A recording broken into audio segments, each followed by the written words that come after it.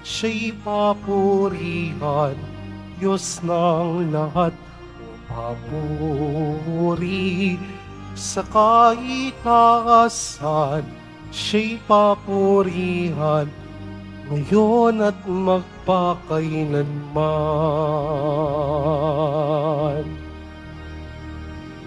Umawit ang daigdigan, lahat ng naroroon. Umawit ang sangkatauhan, purihin ng Panginoon.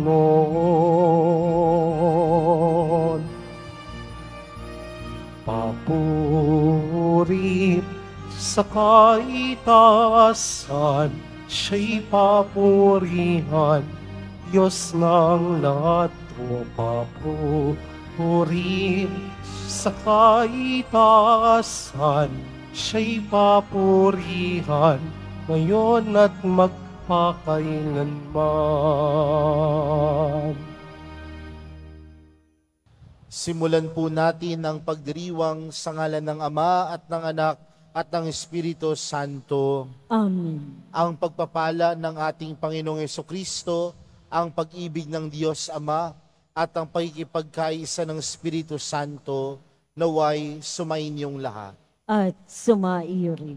Mga kapatid, tayo pong lahat ay nagkakatipon bilang isang mag-anak ng Diyos sa pagdiriwang ng banal na Eukaristiya. At upang tayo po ay maging karapat dapat gumanap sa banal na pagdiriwang na ito, alalahanin po natin ang ating mga pagkukulang at nagawang pagkakasala at buong kababaang loob po tayong humiling ng awa at pagpapatawad mula sa Diyos.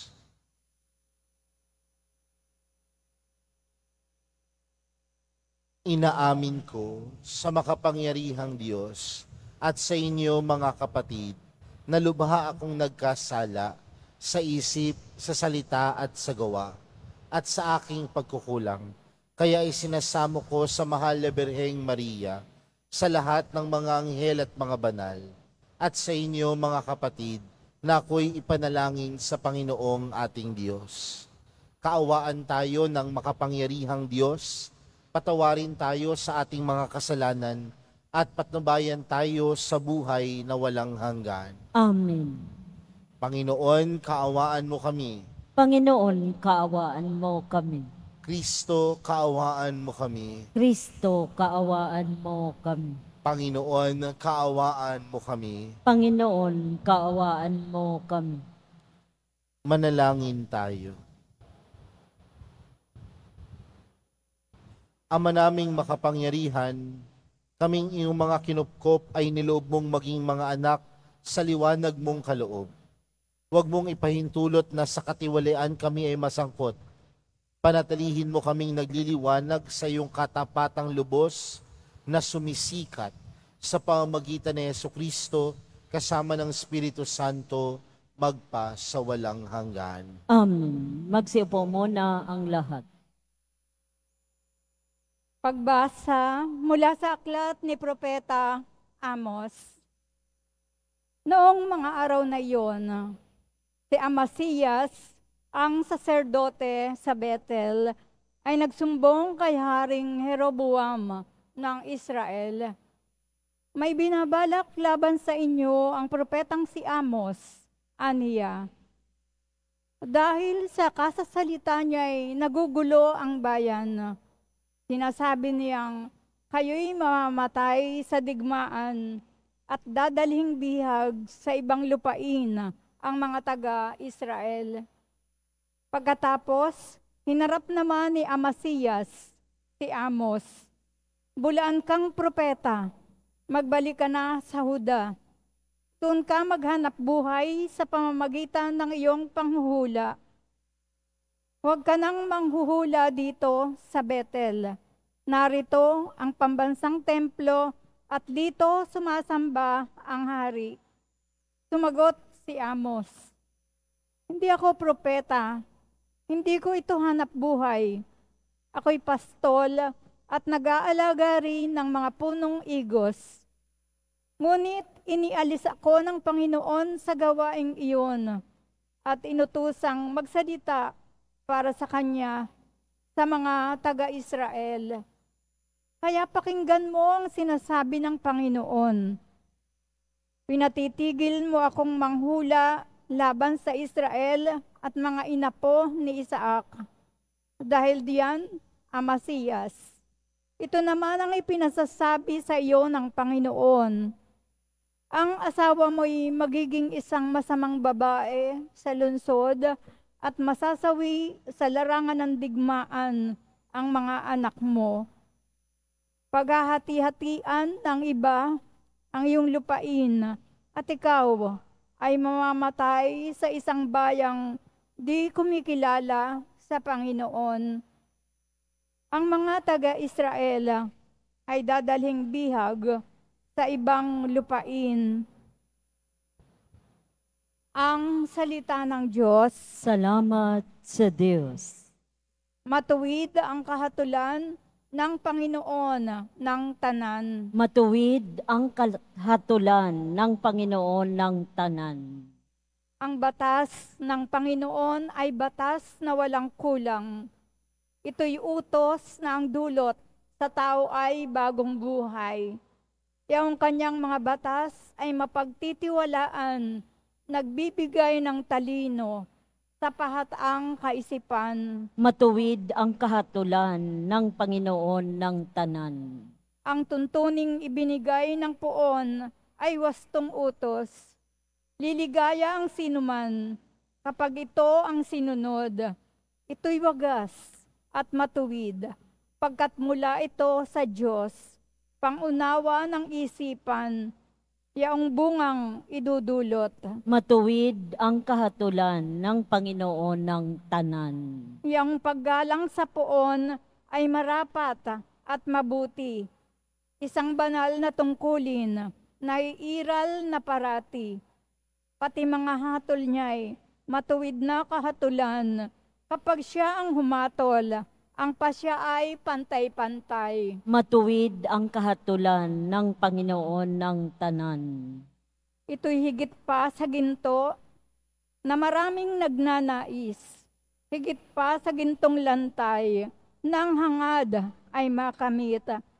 Matamis pa kaysa pulot, sa pulot na sakdal tamis, kahit anong pulot ito, nadalisay at malinis. Matuwid ang kahatulan ng Panginoon ng tanan. Magsitayo na po ang lahat.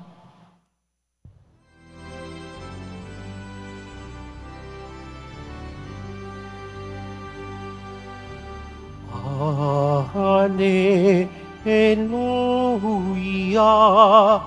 Hallelujah. Hallelujah. Hallelujah.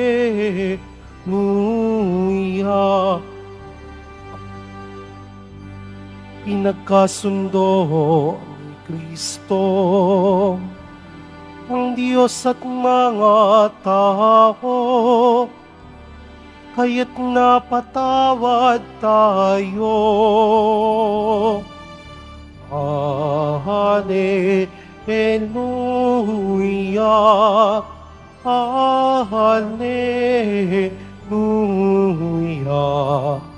Hallelujah.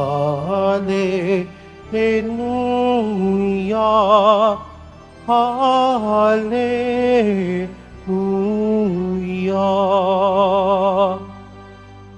Sumainyo ang Panginoon. At sumaiyo rin. Ang mabuting balita ng Panginoon ayon kay San Mateo. Papuri sa iyo, Panginoon. Noong panahong iyon, sumakay si Jesus sa bangka, tumawid sa kabilang ibayo, at tumuloy sa sariling bayan. Pagdating niya roon, dinala sa kanya ng ilang katao ang isang paralitikong nakaratay sa kanyang higaan. Nang makita ni Jesus kung gaano kalaki ang, kanil, ang kanilang pananalig, sinabi niya sa paralitiko, Anak, lakasan mo ang iyong loob. Pinatatawad ka na, sa iyong mga kasalanan. Isinaloob ng ilang eskriba naroon. Nilalapastangan, nilalapastangan ng taong ito ang Diyos. Ngunit batid ni Jesus ang kanilang iniisip, kaya't sinabi niya, Bakit kayo nag-iisip ng ganyan? Alin ba ang mas madali? Ang sabihing ipinatatawad na ang mga kasalanan mo o ang sabihing tumindig ka at lumakad? Patutunayan ko sa inyo na dito sa lupa ang anak ng tao'y may kapangyarihang magpatawad ng mga kasalanan. At sinabi niya sa paralitiko, tumindig ka, dalhin mo ang iyong higaan at umuwi ka. Tumindig nga ang lalaki at umuwi. Nang makita ito ng mga tao, sila'y natakot at nagpuri sa Diyos na nagbigay ng ganitong kapangyarihan sa mga tao. Mga kapatid, ang mabuting balita ng Panginoon. Pinupuri ka namin, Panginoong Heso Kristo. Magsiumpo muna ang lahat. Magandang tanghali po sa inyong lahat. Kung titingnan po natin ang buhay ng mahal na pong Jesus Nazareno, nung siya ay nagkatawang tao na kagaya natin dito sa lupa, walang hinagad si Jesus ng masama. Lahat ng kanyang pagkilos, lahat ng kanyang paggawa, mabuti. Dahil sinasalamin niya ang kabutihan ng Diyos. Kung titingnan po natin sa kwento ng buhay ni Jesus, lahat po ito ay may taglay na kabutihan.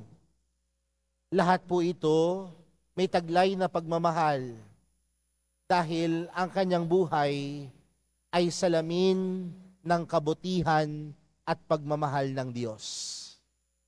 Kaya nga, ni isang bagay dito sa lupa, si Jesus walang hinangad na hindi mabuti. Ang buhay ni Jesus dito sa lupa, puno ng pagmamahal, puno ng pag-ibig.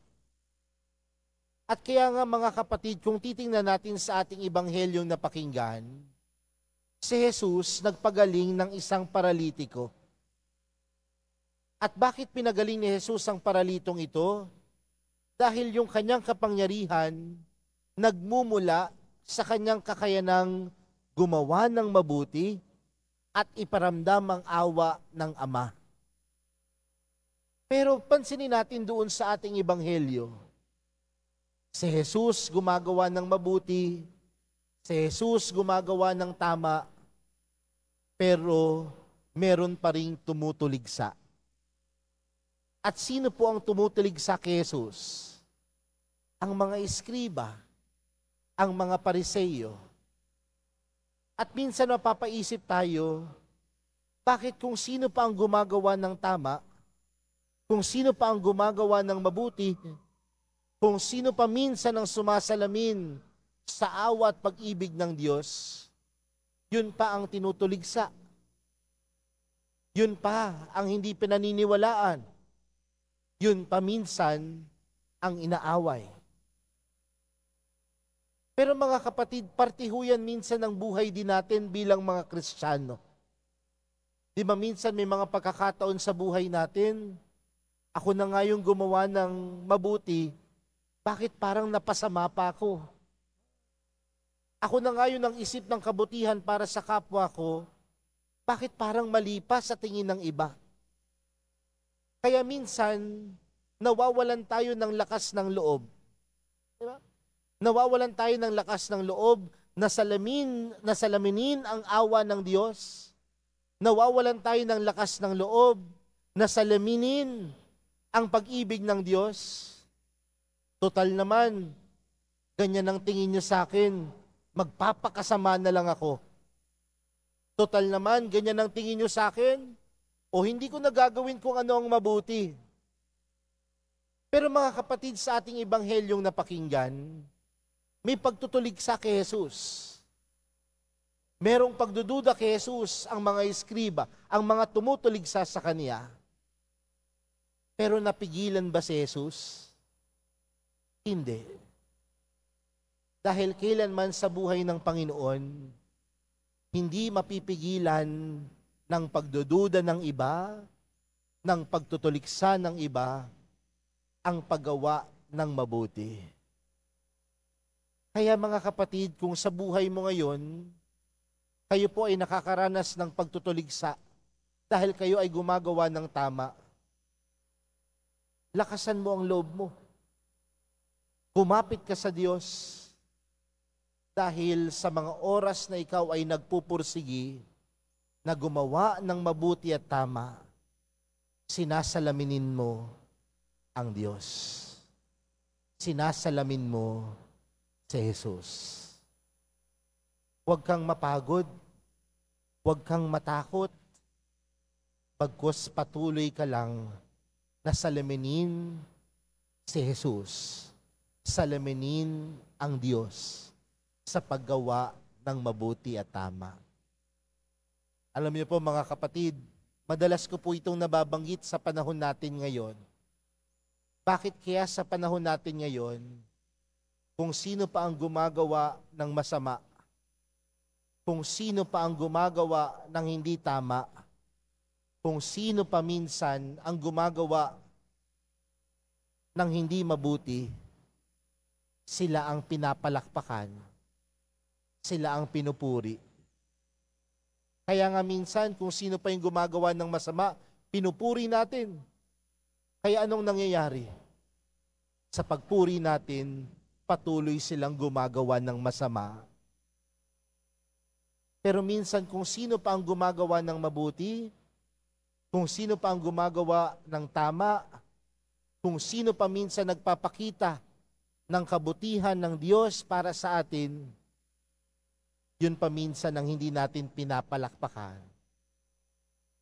Kaya nga minsan nagtataka na rin ako, bakit kaya minsan parang umuunti ang mabuti sa mundo? Dahil marahil natatakot, nawawalan ng loob. Pero mga kapatid, huwag kang matakot na gumawa ng mabuti. Huwag kang matakot na gumawa ng tama. Huwag kang matakot na salaminin ng Diyos sa iyong buhay. Dahil kailanman, ang taong gumagawa ng mabuti, hindi pinabayaan ng Diyos. Ang taong gumagawa ng tama, hindi pinabayaan ng Diyos. At hindi ka rin pababayaan ng mahal na pong Jesus Nazareno. Kaya mga kapatid, sa pagpapatuloy po ng ating banal na misa, sa tulong ng mahal na pong Jesus Nazareno, tinatawagan tayo na sa kabila ng maraming pagdududa ng mundo sa kabutihan, sa kabila ng maraming pagtutuligsa ng mundo sa katotohanan, sa kabila ng maraming pagtutuligsa sa kabutihan, lakasan natin ang ating loob na gumawa at piliin pa rin ang tama. Dahil sa mga oras na tayo gumagawa at pinipili pa rin ang tama, tunay nating sinasalamin ang kabutihan at pagmamahal ng Diyos. Amen. Magsitayo na po ang lahat.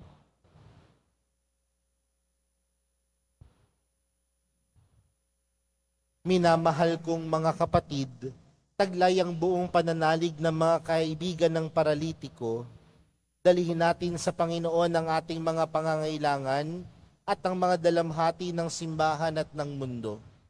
Ang ating pong panalangin Panginoon, palakasin at ibangon mo kami. Panginoon, palakasin at ibangon mo kami. Ang simbahan naway palaging isagawa ang mapagligtas na misyon ni Kristo sa pamamagitan ng pagpapatawad ng mga kasalanan. Manalangin tayo. Panginoon, palakasin at ibangon mo kami ang mga pari na nagdiriwang ng sakramento ng pakikipagkasundo naway laging magpakita ng habag at pangunawa sa lahat ng mga nagbabalik loob. Manalangin tayo. Panginoon, palakasin at ibangon mo kami. Tayo naway maging laging handang magpatawad ng ating kapwa sapagkat bahagi ito ng ating tungkulin sa pagsunod kay Kristo. Manalangin tayo. Panginoon, Panginoon, palakasin at ibangon mo kami. Ang mga may sakit at may kapansanan naway makatagpo ng kasiyahan at pag-asa sa gitna ng kanilang pagdurusa. Manalangin tayo. Panginoon, palakasin at ibangon mo kami. Yaong mga namayapa, naway makasalo sa walang hanggang kapayapaan ni Kristo. Manalangin tayo. Panginoon, Panginoon, palakasin at ibangon mo kami. Sa katahimikan po ng ating mga puso, ilapit po natin sa Diyos ang ating mga pansariling panalangin, gayon din ng mga taong humiling ng ating mga dasal, at lahat ng nag-alay ng intensyon para sa misang ito.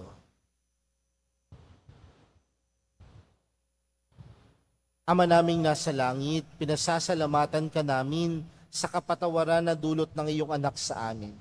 Kami naway makapagpatawad sa mga nagkakasala sa amin. Hinihiling namin ito sa pamagitan ni Kristong aming Panginoon. Amen. Magsiupo.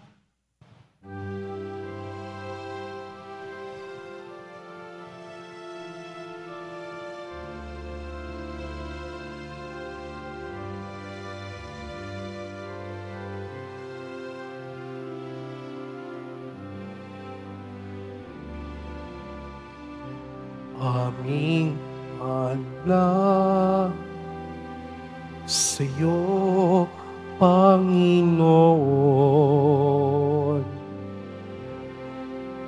Ang tinapay at alak na iyong kaloob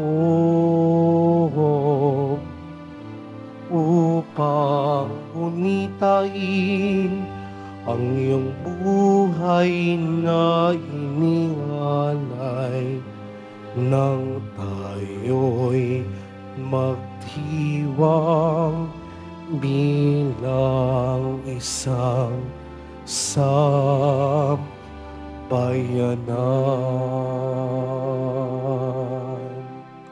Magsitayo na po. Manalangin po kayo mga kapatid upang ang paghahain natin ay kalugdan ng Diyos amang makapangyarihan. Tanggapin nawa ng Panginoon itong paghahain sa iyong mga kamay sa kapurihan niya at karangalan sa ating kapakinabangan at sa buong sambayanan niyang banal. Ama naming lumikha, kami iyong pinapakindapat gumanap sa pagdiriwang ng paghahain ng iyong pagliligtas. Ipagkaloob mo ang aming paglilingkod sa iyo ay gawing kalugod-lugod ng mga alay na ito sa pamagitan ni Yeso Kristo kasama ng Espiritu Santo magpa sa walang hanggan. Amen. Sumainyo ang Panginoon. At sumaiyo rin. Itaas sa Diyos ang inyong puso at diwa. Itinaas na namin sa Panginoon. Pasalamatan natin ang Panginoong ating Diyos. Marapat na siya ay pasalamatan. Ama naming makapangyarihan, tunay ngang marapat na ikaw ay aming pasalamatan. Pinagbibigyan mong ito'y aming maihayag, kahit na ito'y walang anumang maidaragdag, sa kadakilaang sa iyo ay likas. Sa pagpupuri naming ang nakikinabang, ay kami ring iyong pinakikiharapan sa pamagitan ng iyong anak na minamahal. Kaya kaisa ng mga anghel na nagsisiawit ng papuri sa iyo, nang walang humpay sa kalangitan, kami nagbubunyi sa iyong kadakilaan.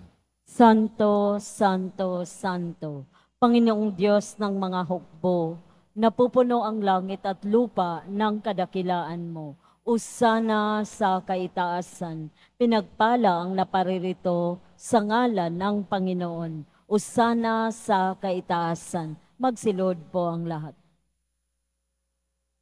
Ama naming banal, ikaw ang bukal ng tanang kabanalan. Kaya't sa pamagitan ng iyong Espiritu, gawin mong banal ang kaloob na ito upang para sa amin maging katawan at dugo ng aming Panginoong Heso Kristo. Bago niya pinagtiis ang kusang loob na maging handog, hinawakan niya ang tinapay, pinasalamatan kaniya, pinaghati-hati niya iyon, iniabot sa kanyang mga alagad at sinabi, Tanggapin ninyong lahat ito at kanin. Ito ang aking katawan na ihahandog para sa inyo.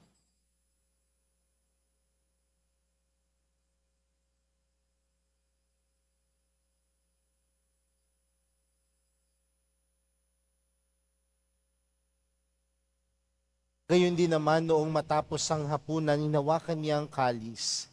Muli kaniyang pinasalamatan. Iniabot niya ang kalis sa kanyang mga alagad at sinabi, Tanggapin ninyong lahat ito at inumin. Ito ang kalis ng aking dugo, ng bago at walang hanggang tipan. Ang aking dugo na ibubuhos para sa inyo at para sa lahat, sa ikapagpapatawad ng mga kasalanan. Gawin niyo ito sa pag-alala sa akin.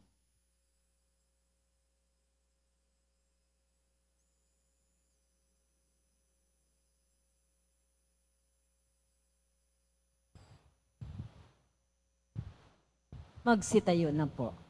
Ipagbunyi natin ang misteryo ng pananampalataya. Si Kristo'y namatay, si Kristo'y nabuhay, si Kristo'y babalik sa wakas ng panahon.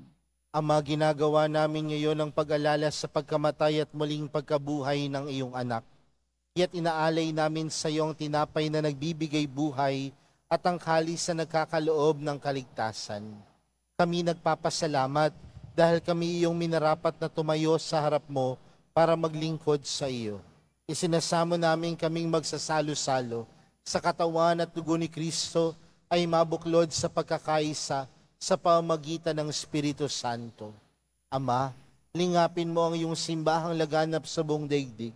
Puspusin mo kami sa pag-ibig. Kay San Francisco na aming Papa at ni Jose na aming Obispo at ng Tanang Kaparian. Alalahanin mo rin ang mga kapatid naming nahimlay nang may pag-asang sila'y muling mabubuhay, gayon din ang lahat ng mga pumanaw. Kaawaan mo sila at patuloyin sa iyong kaliwanagan. Kaawaan mo at pagindapatin kaming lahat na makasalo sa iyong buhay na walang wakas. Kaysa ng mahal na Birheng Maria na ina ng Diyos, ng kabiyak ng puso niyang si San Jose, kaysa ng mga apostol at ng lahat ng mga banal na namuhay dito sa daigdig ng kalugod-lugod sa iyo. May pagdiwang nawa namin ang pagpupuri sa ikararangal mo sa pamagitan ng iyong anak na aming Panginoong Heso Kristo. Sa pamagitan ni Kristo, kasama niya at sa Kanya, ang lahat ng parangal at papuri ay sa iyo, Diyos amang makapangyarihan, kasama ng Espiritu Santo, magpa sa walang hanggan. Amen. Lumapit po tayo sa Ama natin sa langit sa panalangin itinuro sa atin ni Jesus. Ama namin, sumasalangit ka, sambahin ang ngalan mo, mapasa amin ang kaharian mo, sundin ang loob mo dito sa lupa para nang sa langit. Bigyan mo kami ngayon ng aming kakanin sa araw-araw at patawarin mo kami sa aming mga sala para nang pagkapatawad namin sa nagkakasala sa amin. At huwag mo kami paintulot sa tukso at yadya mo kami sa lahat ng masama. Hinihiling po namin kami adya sa lahat ng masama, pagkalooban ng kapayapaan araw-araw, iligtas sa kasalanan at ilayo sa lahat ng kapahamakan, samantalang aming pinananabikan ang dakilang araw ng pagkapahayag ng tagapagligtas naming si Yeso Kristo. Sapagkat iyo ang kaharian at ang kapangyarihan at ang kapurihan magpakailanman. Amen. Panginoong Heso Kristo, sinabi mo sa iyong mga apostol, kapayapaan ang iniwan ko sa inyo, ang aking kapayapaan ang ibinibigay ko sa inyo. Tunghayan mo ang aming pananampalataya at huwag ang aming pagkakasala pagkalooban mo kami ng kapayapaan at pagkakaisa ayon sa iyong kalooban, kasama ng Espiritu Santo, magpa sa walang hanggan. Amen. Ang kapayapaan ng Panginoon ay laging sumainyo. At sumaiyo rin. Magbigayan po kayo ng kapayapaan sa isa't isa. Kordero ng Diyos na nag-aalis ng mga kasalanan ng sanlibutan, maawa ka sa amin. Kordero ng Diyos na nag-aalis ng mga kasalanan ng sanlibutan, maawa ka sa amin. Kordero ng Diyos na nag-aalis ng mga kasalanan ng sanlibutan, ipagkaloob mo sa amin ang kapayapaan. Magsiluhod po ang lahat.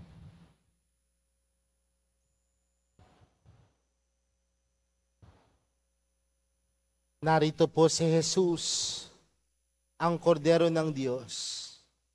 Siya ang nag-aalis ng kasalanan ng sanlibutan. Mapalad ng mga inaanyayahan sa kanyang piging. Panginoon, hindi, Hindi ako karapat-dapat na magpatuloy sa sa iyo. Ngunit sa isang salita mo lamang ay gagaling. gagaling na ako.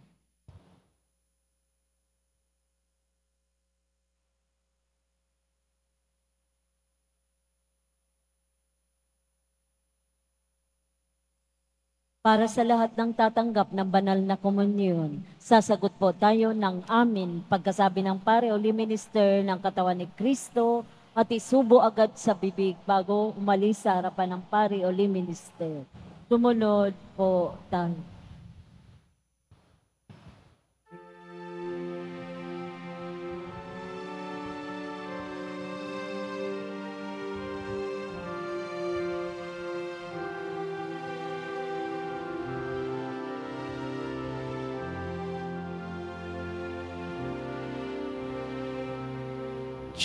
Jesus, meek and humble of heart, hear me, deliver me, O Jesus.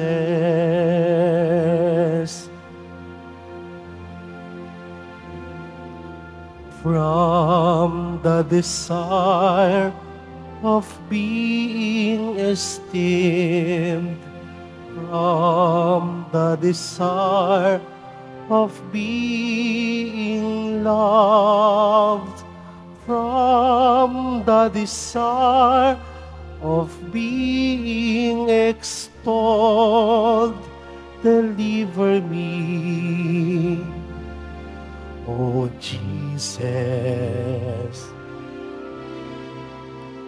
Jesus, meek and humble of heart, hear me, deliver me, O Jesus.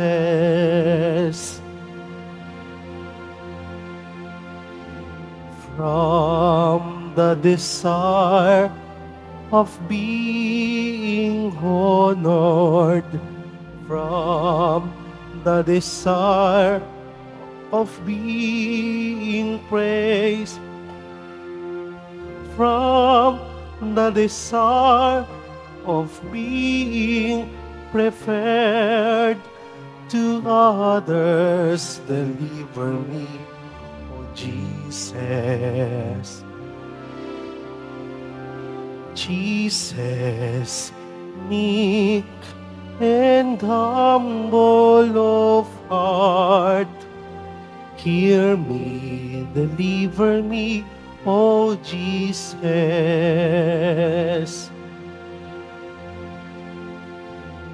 From the desire of being consulted, from the desire of being approved, from the fear of being humiliated, deliver me, O Jesus.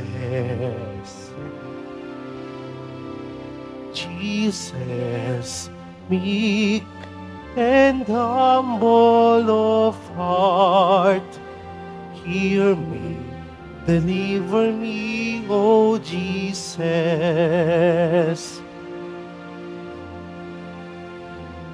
From the fear of being displeased, from the fear of suffering rebukes, from the fear of being humiliated, deliver me, O Jesus.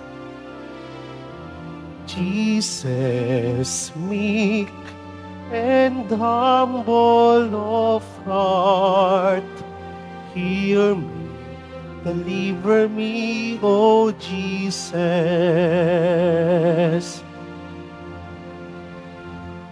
From the fear of being forgotten, from the fear of being ridiculed, from the fear of being wrong and being suspected, deliver me, O Jesus.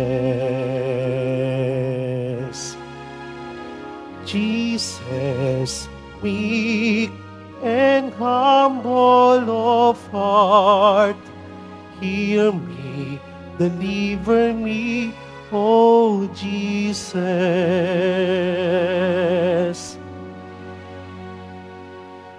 Announcement. Mabibili pa rin po ang opisyal na imahen ni Jesus Nazareno. Ang mga ito po ay mabibili lamang sa ating Paris Finance Office. Pagkatapos ng misa, wiwisikan po ang lahat ng banal na tubig. Pinakikiusapan ang lahat na manatili lamang muna sa inyong mga lugar. Tanging sa Quezon Boulevard o sa Plaza San Juan lamang ang labasan ng lahat. Sumunod po tayo. Maraming salamat po sa inyong pagdalaw at pagsisimba sa Basilica Minor at Pambansang Dambana ni Jesus Nazareno. Magsitayo na po ang lahat. Manalangin tayo. Ama naming mapagmahal, buhayin nawa kami ng aming inihain at pinagsaluhan upang kaming pinagbuklod sa pag-ibig mo kailanman ay magkaroon ng bungang lagi naming maialay sa pamagitan ni Yesu Kristo kasama ng Espiritu Santo magpa sa walang hanggan. Amen. Sumayin niyo ang Panginoon, At sumaiyo rin. mahal na pong Jesus Nazareno, inihayag mo sa pamagitan ng krus ang walang maliw na pag-ibig ng Diyos sa katauhan. Pakinggan mo ang kahilingan ng iyong angkan na nagsusumamo sa iyo. Makamtanawa nila ang iyong katugunan at tanggapin ang kasagutan na may utang na loob na tinatanaw. Basbasan din po ninyo ang mga daladala nilang mga imahin at dasalan sa pamamagitan ng bendisyon na ito naway maalala nila ang mga pangako nila noon sa binyag na ikaw ang kanilang ibigin at paglilingkuran bilang Panginoon magpa sa walang hanggan. Amen. At pagpalain po kayong lahat ng makapangyarihang Diyos, Ama, Anak, at ng Espiritu Santo. Amen. Humayo kayong taglayang kapayapaan ng poong Jesus Nazareno. Salamat sa Diyos.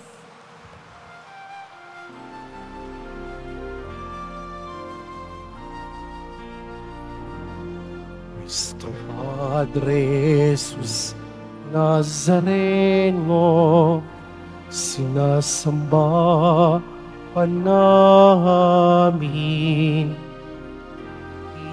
Pinipintuho ka namin. Aral mo ang aming buhay at kaligtasan. Nuestro Padre Jesus Nazareno, ligtas mo kami sa kasalanan. Ang krus mong kinamatayan ay sagisag ng aming kaligtasan. Nuestro Padre Jesus Nazareno, dinarangal ka namin. Nuestro Padre Jesus Nazareno, inuwalhati ka namin. Nuestro Padre Jesus Nazareno, dinarangal ka namin. Nuestro Padre Jesus Nazareno, inuwalhati namin.